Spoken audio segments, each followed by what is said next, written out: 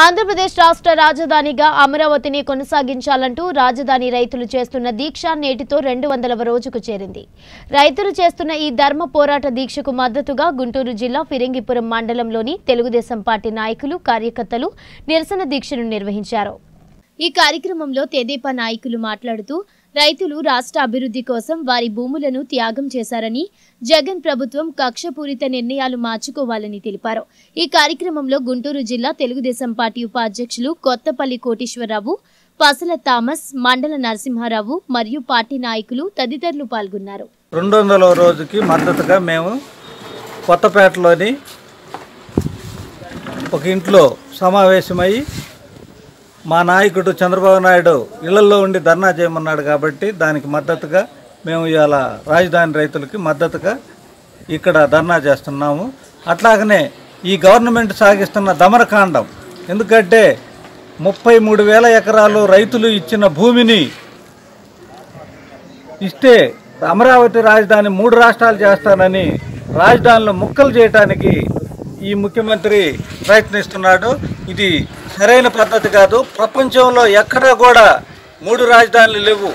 ఒకే రాజధాని కావాలనే నినాదంతో రెండు వందల రోజుల నుంచి ప్రజలు చేస్తున్న పోరాటాన్ని గుర్తించకుండా అనేకమైన కేసులు పెట్టి ఇబ్బందులు పెడుతున్నాడు. ప్రజల్ని అక్కడున్న ప్రజల్ని అట్లాగనే తెలుగుదేశం పార్టీ క్యాడర్ని అచ్చెన్నాయుడు కాడి నుంచి మొదలుపెట్టి మన అయ్యన్న పాత్రుడు అట్లానే యనమాల రామకృష్ణుడు కొల్లు రవీంద్ర బీసీ నాయకులు అందరిపైన కూడా కక్ష సాధింపుతో ఎందుకంటే బీసీలు తెలుగుదేశం పార్టీకి మద్దతుగా ఉన్నారనే ఒకే ఒక్క ఉద్దేశంతో బీసీ నాయకులు అందరి మీద కేసులు పెడుతున్నాడు. ఇది మంచి పద్ధతి కాదు.